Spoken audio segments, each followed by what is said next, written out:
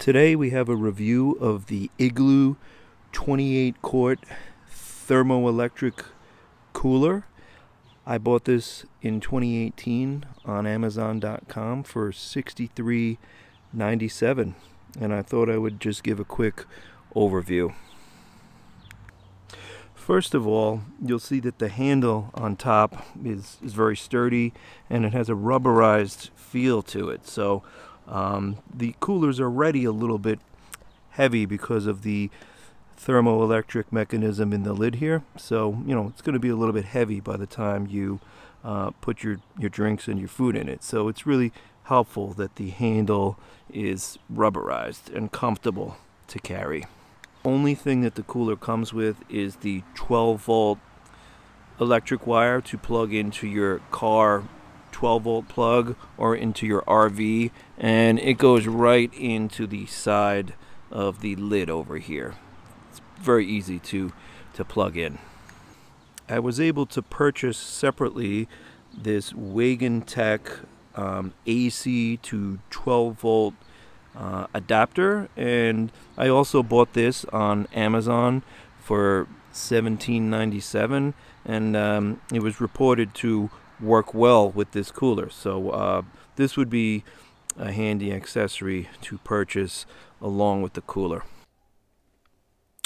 Alright, so I brought this uh, inside here and I'm uh, about to do some tests. It's room temperature in my place here, 73 degrees or so. I'm just going to take a quick reading on the temperature inside the cooler here and 74.3, 74.2 Okay, so it's about 74 degrees or so inside the cooler.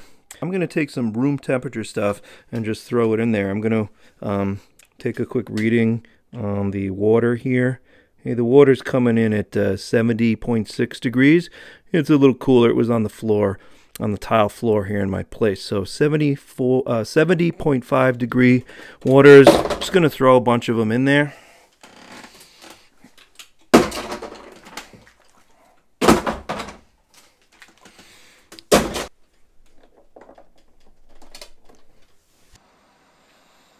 All right, we're back.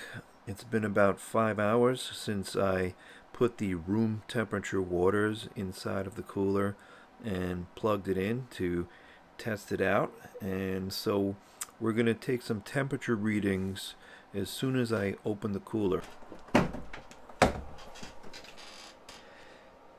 All right, so I'm getting a reading of 40.3 degrees on the side of the cooler after immediately opening it 39 35 39.5 39.8 so it's just around 40 degrees. Okay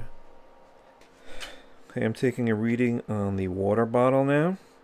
Okay the water bottle is coming in at um, around 50 degrees or so. 51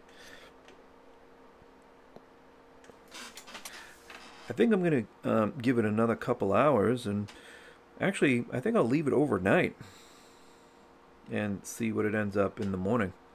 I'm going to close it up now.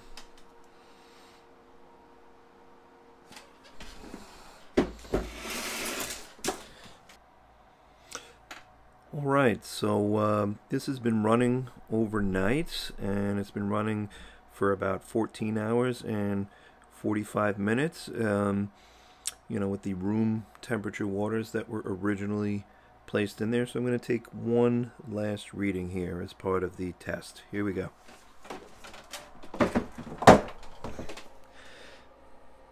Thirty-eight point six on the side of the cooler. Thirty-eight point seven. And now I'm gonna get the water here. Forty-two. Forty-two degrees, just under forty-two for the water. So I think, you know, it was a successful test that this thermoelectric cooler can do a pretty good job.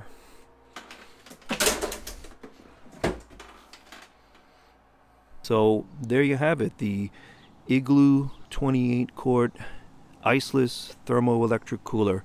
It's really a, a nice alternative to having a regular cooler with all the wet ice and you know tons of ice packs. It's it's just uh, convenient. You just plug it in. I, I recommend it. Igloo cooler. Have a great day.